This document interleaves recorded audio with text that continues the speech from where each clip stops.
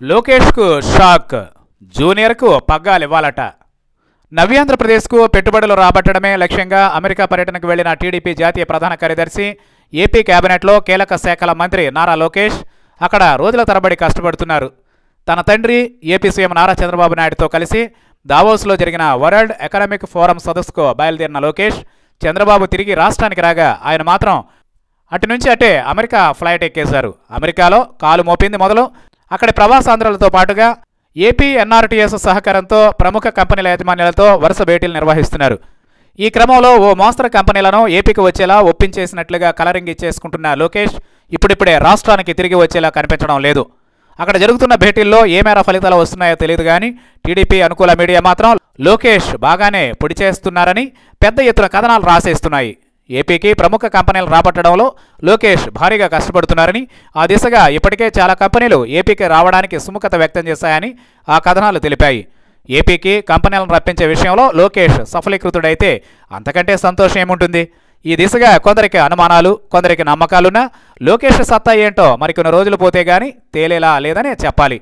ఇదంతా బాగానే ఉన్న ప్రవాసాంధ్రుల భేటీ కోసం అంటూ హుషారుగా బయలుదేరిన లోకేష్కు పెద్ద షాకే తగిలినట్లుగా వార్తలు వినిపిస్తున్నాయి.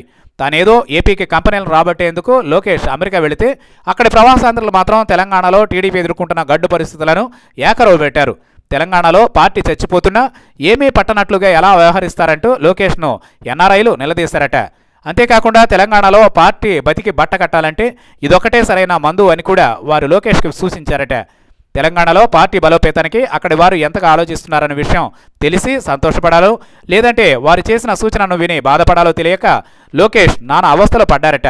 అయినా ప్రవాసాంధ్రులు లోకేష్కు చేసిన సూచన ఏంటంటే టాలీవుడ్ యంగ్ టైగర్ పార్టీ వ్యవస్థాపకుడు నందమూరి తారక రామారావు రూపురేఖలను పుణికిపుచ్చుకున్న జూనియర్ ఎన్టీఆర్ను తెలంగాణ పార్టీ చీఫ్గా నియమించడంతో పాటుగా వచ్చే ఎన్నికల్లో జూనియర్నే తెలంగాణ సీఎం అభ్యర్థిగా ప్రకటించాలని వారు సూచించారు. ఈ మాట విన్నంతనే లోకేష్ షాక్ గురయ్యారట.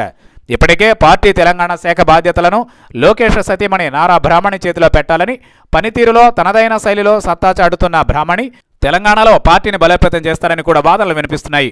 ఈ నేపథ్యంలో జూనియర్ ఎన్టీఆర్ పేరులు ప్రస్తావించిన ప్రవాసాంధ్రులు నిజంగానే లోకేష్కు నోటమాట రాకుండా చేశారని చెప్పాలి. ఈ ప్రతిపాదన వచ్చింది కూడా ఏ తెలంగాణకు చెందిన ప్రవాసాంధ్రుడి నుంచో కాదట. ఏపీలోని గుంటూరు జిల్లాకు చెందిన నవీన్ అనే ప్రవాసాంధ్రుడు ఈ ప్రతిపాదన చేశాడట.